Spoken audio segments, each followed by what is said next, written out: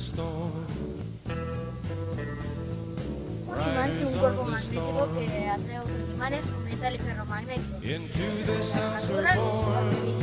Los imanes tienen distintas formas, pero todos tienen la habilidad de atraer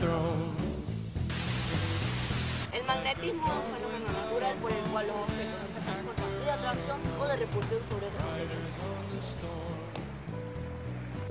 Si tenemos dos imanes y ponemos el polo norte de un imán con el polo norte de otro, estos se van a repeler. Pero en cambio, si ponemos el polo norte de un imán con el polo sur, se van a atraer.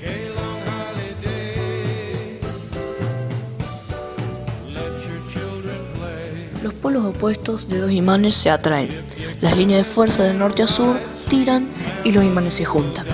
En cambio, los polos iguales de dos imanes se repelen.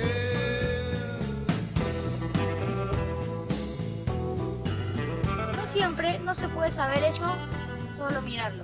Por eso ahora le vamos a mostrar a continuación dos experimentos.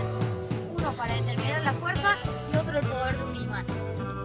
Bueno, para este experimento vamos a necesitar tijeras, cinta, poligoma, imanes, regla, banditas elásticas y arandelas.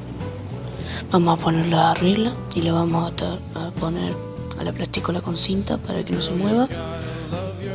Vamos a poner una regla haciendo como de balance encima de la plasticola. Vamos a poner las arandelas atadas con las banditas elásticas de un lado y del otro los imanes atados. Siguiente, vamos a probar si funciona. Vamos a agarrar otro imán y vamos a intentar levantar la regla. Mientras más se levante, más poder tienen los imanes.